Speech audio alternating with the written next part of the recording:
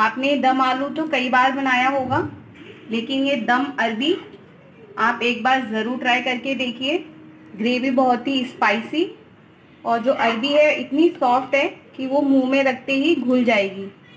Hello friends welcome to my channel food and final तो आज मैं आपके लिए लेके आई हूँ ये दम अरबी की बहुत टेस्टी सब्ज़ी, जो डेफिनेटली आपको बहुत पसंद आने वाली है।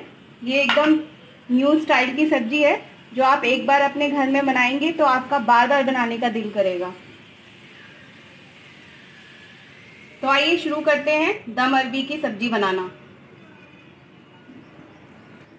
दम अरबी बनाने के लिए मैंने यहाँ पे ये ले ली है आधा किलो अरबी, जिसको मैंने बॉईल कर लिया है और इसका छिलका हटा दिया है। आपने इसको बहुत ज़्यादा बॉईल नहीं करना है, बस दो सीटी लगा दीजिए तो ये अच्छे से बॉईल हो जाएगी।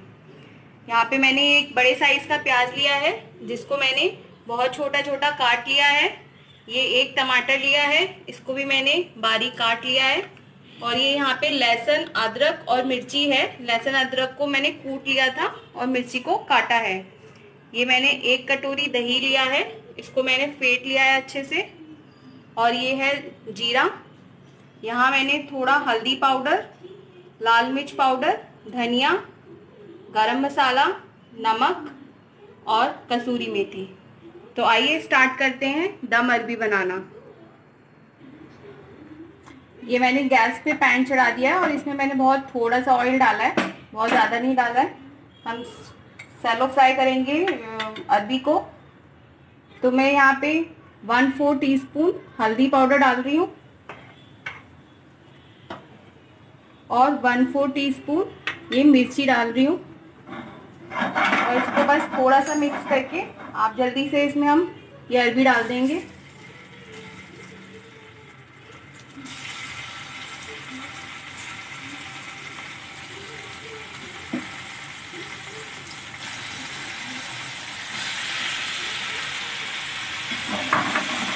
और हमें इसे अब सैलो फ्राई करना है। जब तक अरबी क्रिस्प नहीं हो जाएगी, हमें तब तक इसको फ्राई करना है।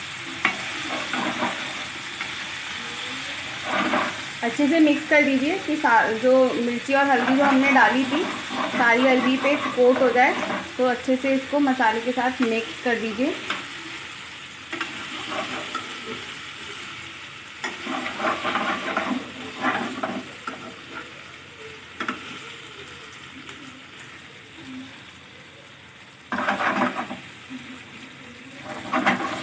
अरबी मेरी फ्राई हो गई है और मसाले की अच्छी सी कोटिंग अरबी पे आ गई है। अब मैं इसको एक बोल में निकाल लूँगी।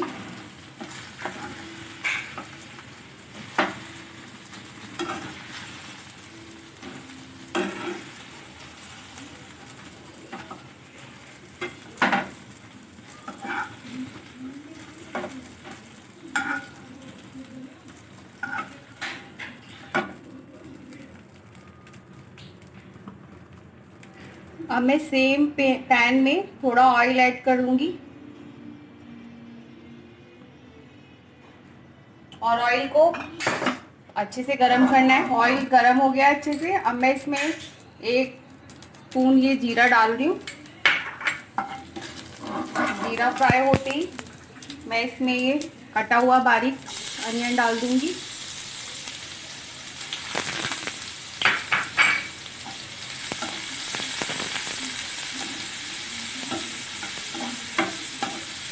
इसको हल्का फ्राई करना है।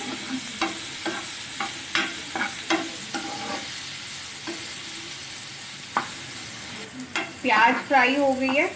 अब मैं इसमें ये जिंजर गार्लिक डाल दूँगी और साथ में हरी मिर्च भी।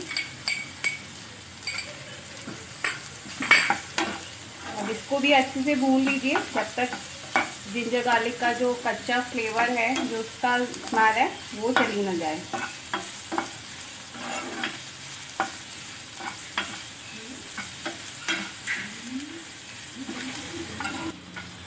जिंजर गार्लिक भी अच्छे से भून गया है। अब मैं इसमें ये कटा हुआ एक टमाटर डाल रही हूँ।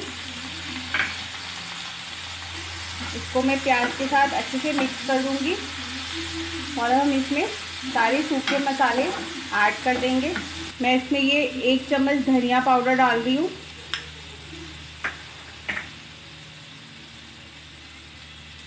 हाफ़ टी स्पून मिर्ची।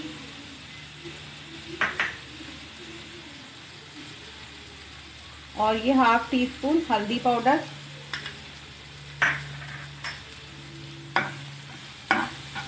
को अच्छे से मिक्स कर देंगे।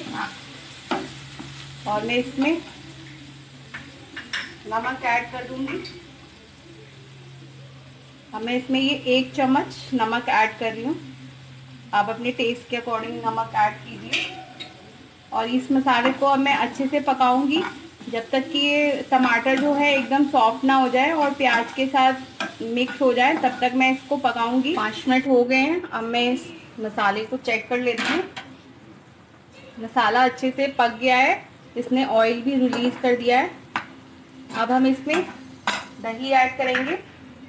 हम थोड़ा थोड़ा करके इसमें दही डालेंगे। एक साथ दही दही डालना है। तो पहले मैं ये टू टेबल स्पून दही डाल रही हूँ और इसको अच्छे से मिक्स कर दीजिए।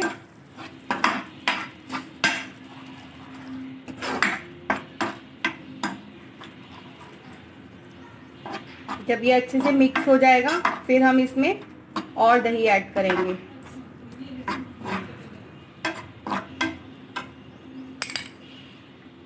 अब मैं इसमें ये टू टेबल स्पून दही और ऐड कर रही हूँ। अब इसको मैं अच्छे से मिक्स कर दूँगी मसाले में। यहाँ पे आप गैस की जो फ्लेम जो फ्लेम है, उसको आप थोड़ा लो रख के, वरना दही फट सकता है।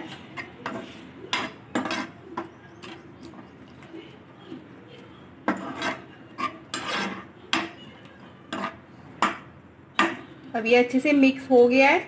अब मैं इसको फिर से कवर कर दूँगी और पाँच मिनट के लिए मैं और पकाऊँगी। मसाला फ्राई हो गया है अच्छे से। अब मैं इसके अंदर अरबी ऐड कर दूँगी। ये जो हमने अरबी फ्राई करी थी, मैं इसके अंदर ऐड कर दूँगी।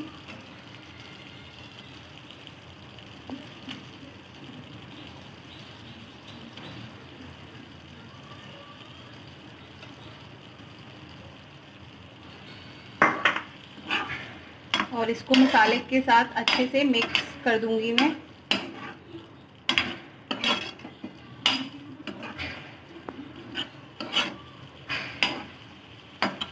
इस टाइम पे आप थोड़ा सा इसमें कसूरी मेथी में डालूँगी, ये क्रश करके।